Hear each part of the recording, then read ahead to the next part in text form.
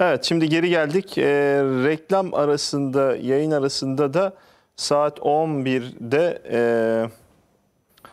Teksas vari bir yöntemle, daha doğrusu aslında şey CHP Genel Başkanı'nın uyguladığı bir yöntemle ben şuraya gidiyorum yöntemiyle Ümit Özdağ, Zafer Partisi lideri Ümit Özdağ İçişleri Bakanlığı'nın önüne gitti. Çok da komik bir şekilde gitti. Yani bir siyasetçiden olabilecek bir şey mi? Silahsız geliyorum.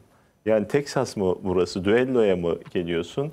Soylu çık dışarı diye gitti. İçişleri Bakanlığı binasında bile bulunmayan Sayın Soylu ile alakalı o binadan çık dışarıya dedi. Onu konuşacağız ama öncesinde... Ama onu konuşacağız deyip e, es geçmeyelim. Şimdi ben Ümit Özdağ'a çağrıda bulunuyorum. Dün çelenk koyuyordu anneler babalar HDP binasının önüne. Niçin? Hala devam eden, hala şehitlerimizin devam ettiği bir konjonktürde babalar diyorlar ki bizim çocuklarımızı PKK versin. PKK'ya terör örgütü değildir diyen HDP de bundan sorumludur. HDP de bu işte sorumludur diyor.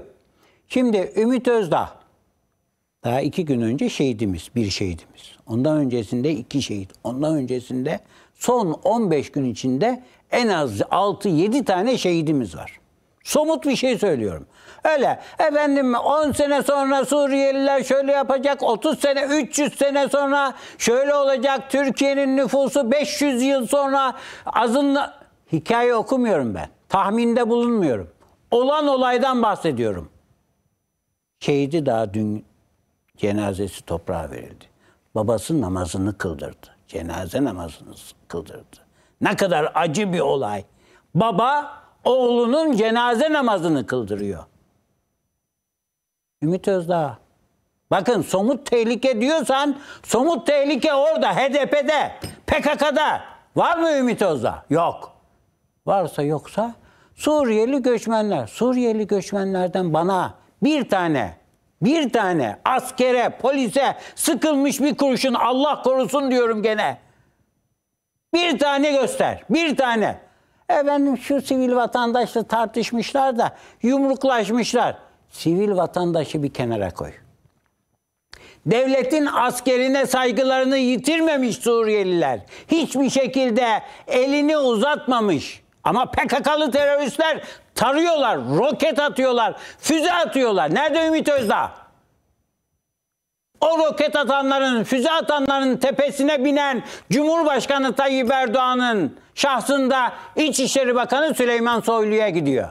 Süleyman Soylu'nun o PKK'nın üzerine giden güçlü nefesini kesmek için Suriyeli göçmenleri önümüze koyuyor. Ne yapmış Suriyeli göçmenler peki diyorum. 100 sene sonra çoğunluğu elle geçirecekler. Ya 100 sene sonrasına boş ver. Süleyman Soylu, Tayyip Erdoğan olmazsa 3 sene sonra Türkiye'nin içini altını üstüne geçirecek PKK. 10 yıl önce yaptığı gibi şehirlerde bombaları patlatacak. Murat Karayılan oradan bağırıyor, tehdit ediyor. İzmir çok uzak değil diyor. Bodrum çok uzak değil diyor. Sadece Hakkari'de, sadece şurada burada değil diyor. Ha, Bodrum'da da patlatırız bombaları diyor. İki sene önce daha. Üç sene öncesinde. Şimdi, şimdi kuyruğu kıstırılmış. Ya biz burada can güvenliğimiz yok deme noktasına gelmiş.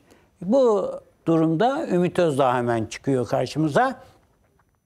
Kandil'dekilerin tümüyle işi bitirileceği an tam da işin başındaki Süleyman Soylu. Yarın öbürsü gün Hulusi Akar'ı da hedef alır bunlar.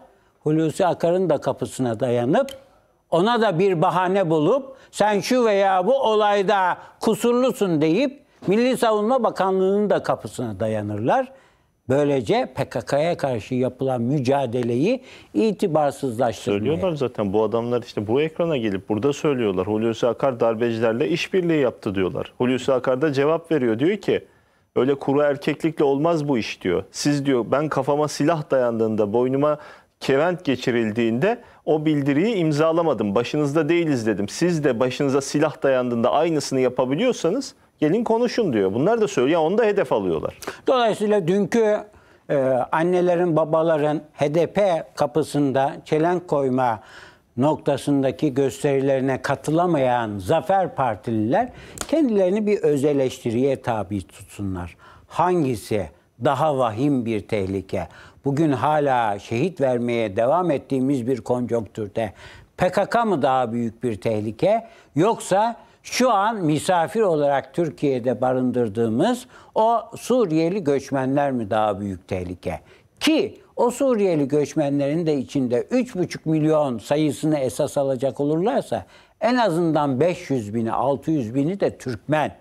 Türkmen insanlardan siz rahatsızlık mı duyuyorsunuz? Zafer Partisi.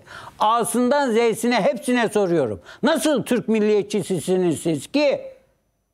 Türkmenlerden rahatsızlık duyuyorsunuz. Hadi Arapları anladık. Suriyeli Araplar diyorsunuz. Araplarla bizim uzaktan yakından bir ilgimiz yok vesaire söylemindesiniz. Anladık. Peki Suriye'den gelen Türkmenlere bu düşmanlığınız niye? Veya başka başka ülkelerden gelen yine Türkmen insanlara düşmanlığınız niye? Göçmen